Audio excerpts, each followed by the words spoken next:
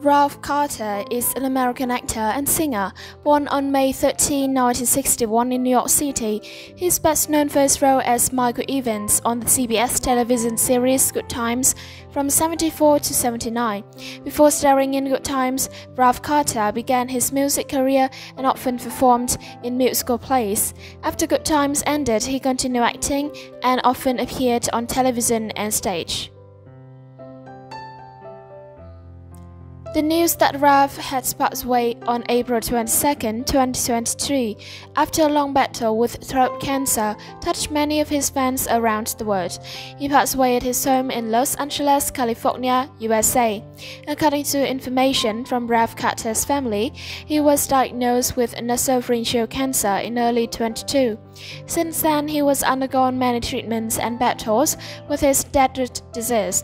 However, despite the loving care and attention of his family, friends, and medical staff, he still could not overcome the disease. After the news of Carter's passing was announced, many people expressed their condolences and memories of him. Colleges, friends, and fans shared their memories of him and declared that he will always be remembered for his talent and contribution to the arts. Some of Carter's colleagues have also expressed their regret. John Amos, who played James Evans in Good Time, posted a photo with Carter and said, He will always live in my heart. Then, writing on his Twitter page, film producer Norman Lear wrote, I am saddened to hear of the passing of Carter. He was a talented actor and great friend. In addition, many fans have also expressed their regrets and tributes to Carter through comments on social networks.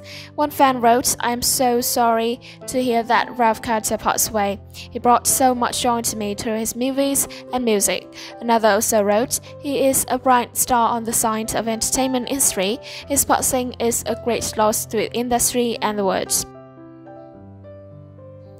Tell us what you think of Carter's death. Please send him your prayers and leave your comments in the comment section below. Subscribe to the channel and press the bell to update the latest news about him. Thank you for watching the whole video.